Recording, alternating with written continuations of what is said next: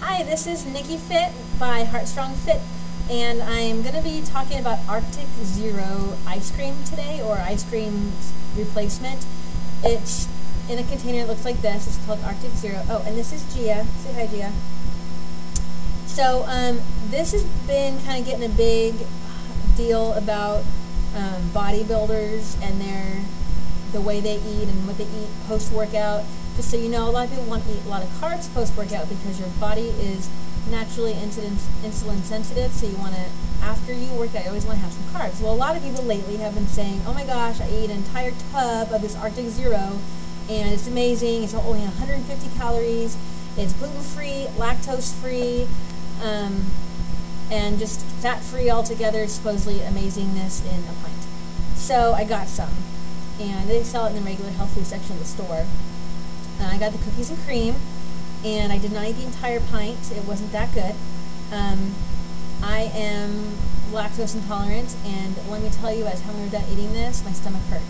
Then I noticed on the side of the ingredients section, it says there's a little like aftermarket sticker that has been put on there and you can see that it was ingredients list that's not actually in their normal packaging. The normal packaging doesn't talk about milk or, or anything, and this one says contains milk. So, um, looks like they got in trouble with their packaging and they had to redo it. So, it is four servings with 37 calories per serving if you only eat one serving. That's pretty awesome. The cookies and cream flavor was, it was alright. It was more chocolatey. Uh, it's just like a light chocolate rather than cookies and cream. There were no actual cookies in there. Um, and but you can enjoy it if you're really an ice cream fiend and you've got to have that ice cream. You can do it. It's not creamy. It's made out of whey protein, so the entire container has 14 grams of protein.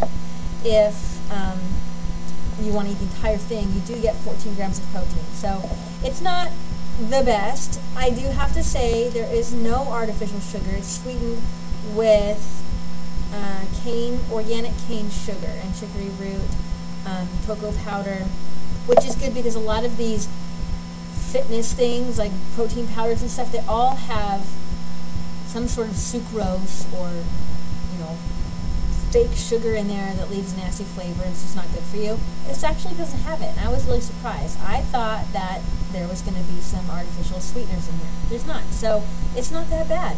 So you really, if, if, if lactose and milk, other products, milk, other like proteins in milk don't hurt your stomach, then go for it.